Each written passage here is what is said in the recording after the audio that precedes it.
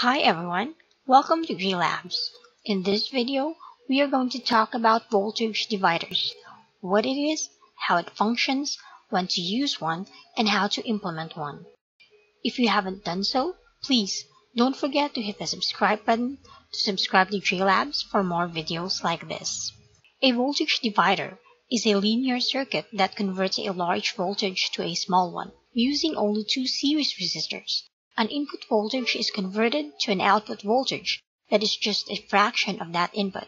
Voltage divider is one of the fundamental circuits in electronics. When creating a voltage divider circuit, it has two important parts, the circuit and the equation. The voltage divider circuit applies a voltage across a series of two resistors. They could be illustrated in different ways, but they are essentially the same circuit. Let's take this voltage divider circuit as an example. We'll call the resistor closest to the input voltage R1 and the resistor closest to the ground R2. The voltage drop that is read on R2 is called the output voltage or Vout, which is the output that we are expecting to produce from this circuit.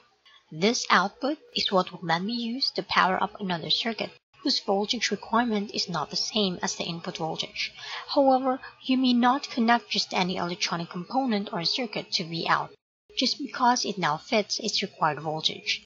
You also need to consider the current requirement of your additional component, because it may end up either burning the resistor because too much current is being drawn, or it renders the additional component non-functional because the voltage dropped below the required voltage of your component.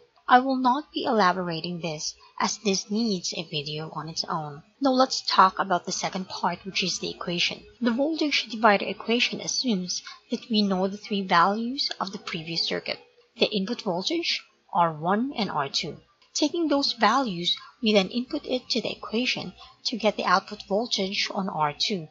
The voltage divider equation states that the output voltage is directly proportional to the input voltage and the ratio of R1 and R2.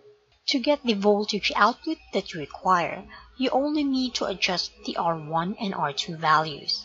Say you have an input voltage of 5 volts and you only need 1 volt. We set R1 to 100 ohms and R2 to 25 ohms. Or if you have 100 volts and you only need 12 volts, then using the equation, we set R1 to 1100 ohms and R2 to 150 ohms. It's as simple as that.